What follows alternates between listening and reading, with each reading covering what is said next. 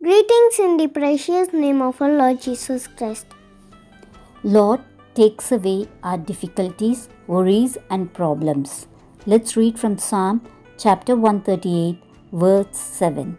Though I walk in the midst of troubles, you preserve my life.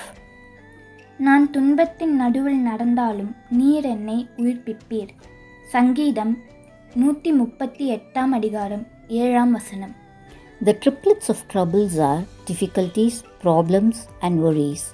We are constantly victims of conflicts. Even in Bible, Job had to face lot of difficulties.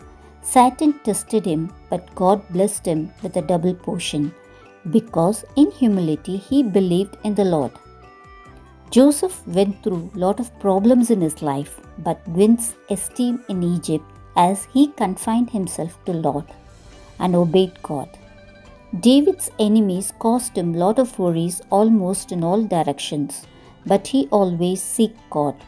We should always humble ourselves before God, confine us to God, and seek Lord's presence. Our Lord will bestow with us protection in times of our trouble. Prayer Lord Jesus, keep us away from difficulties, problems, and worries. Let us be in your unfailing love and your faithfulness. In Jesus' name we pray. Amen. Have a good day. God bless you.